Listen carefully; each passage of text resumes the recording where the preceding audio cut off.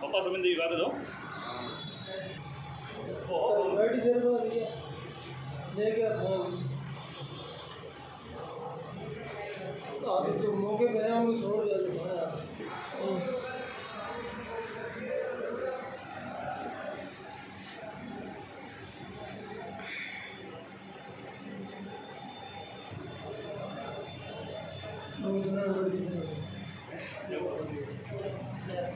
किस तरीके से पुलिस के पास सूचना आई और पुलिस ने किस तरीके से इस पूरे घटनाक्रम पर नज़र डालते हुए काम किया और उसको गिरफ़्तार किया जो आरोपी थे?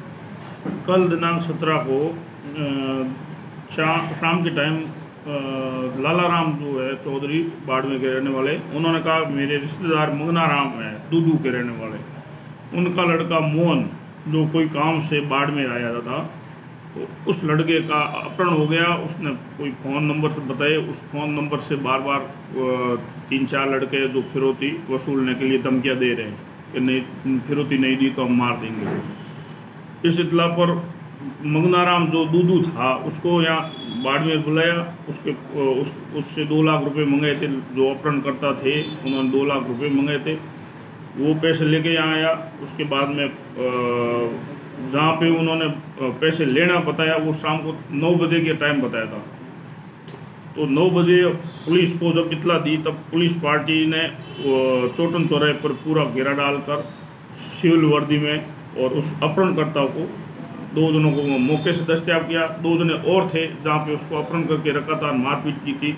सुखदेव और उत्तमाराम फिर बाद में रात, देर रात उन दोनों को भी दस्तियाब किया और अपहरण जो लड़के का हुआ था, उसको सुरक्षित छुड़वा कर थाने लाए।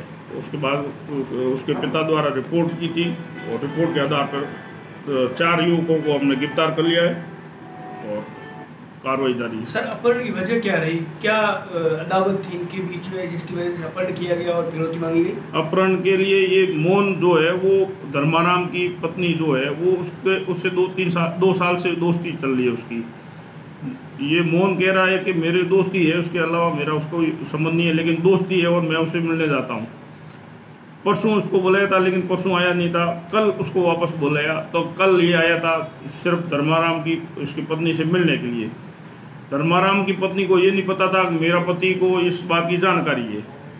तो जब ये मिलने पहुँचा तो धर्माराम ने अपनी पत्नी को तो कहीं साइड, दूसरे मकान, दो मकान है, दूसरे मकान में रख दिया। धर्माराम उसको लेकर अपने दोस्तों को दोस्तों के साथ लेकर दूसरा मकान था जो तिलक नगर में। वहाँ ले जाके उसको अपहरण करके रखा। फिर उसके घर वालों को फिरौती के लिए दो लाख रुपए की मांग की और उसके साथ मारपीट करी। फिर पुलिस जो जब इतला में तब उन्होंने चौटन चौराहे बोला बुलाकर व्यवस्थित तरीके से अपहरण करता और उनको सुरक्षित जो जिसका अपहरण हुआ था उसको सुरक्षित बचा लिया।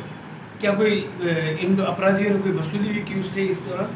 वो अपहरण के दौरान उन्होंने फ़ोन से ट्रांजैक्शन का बताया है, जिसके लड़के के फ़ोन पे से पैसे उन्होंने निकाले, जितने पैसे थे, चार, पाँच हज़ार जो बता रहा है, उसको वेरीफाई कर रहे हैं। और उसके बाद रोक, रोकड़ रुपए जो है, दो लाख रुपए वो पुलिस ने उसको देने नहीं दिए, उस सिर्फ़ उसको वहाँ खड़ा करके, दस्तियाब के लिए उसको खड़ा किया था। उस बाप के, पिता के पास पहुँचने से पहले ही उनको गिरफ़्तार कर लिया। क्या ये अंदेशा जताया जा रहा था कि अगर ये घटना अगर पुलिस समय पर सतर्क नहीं रहती तो इसके साथ लड़के के साथ गलत भी हो सकता था? बिल्कुल इसके साथ कुछ भी हो सकता था क्योंकि ये उससे अवैध संबंध का भी मामला तो के धर्माराम देख रहा था फिर फिरौती भी मांग रहा था। यदि नहीं मिलने की स्थिति में उसके कब्जे में है तो हो सकता है उसका मर्डर भी कर दे। तो ऐसे इस बात से इनकार नहीं किया जा सकता कि उसके साथ अनहोनी नहीं होती। लेकिन पुलिस ने सतर्कता बरतते हुए इन सभी को मौके से जितने भी थे इन्वॉल्व सभी को दस्तियाब करते